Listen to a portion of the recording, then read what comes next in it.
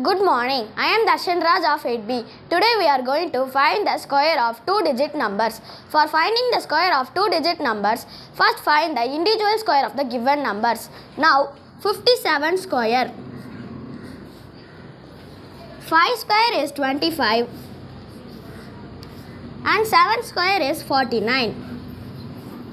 Now multiply 5 into 7 into 2 we get 70.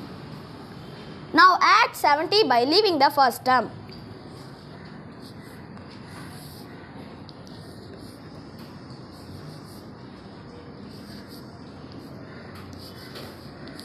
We get 3249. Now 57 square is 3249. Let us try another example. Anybody can explain square of 69? Yes, can I answer? Yes, Aditya, come and explain. Now 69 square. 6 square is 36 and 9 square is 81.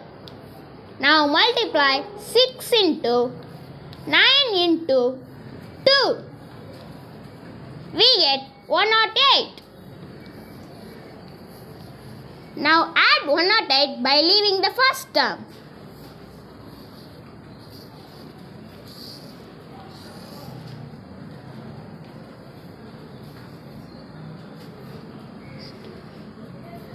We get 4761.